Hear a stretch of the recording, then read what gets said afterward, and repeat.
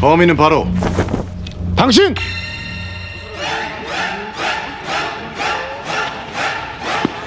피해자입니다. 꽃 뒤에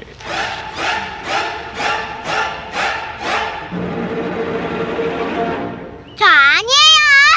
엄마!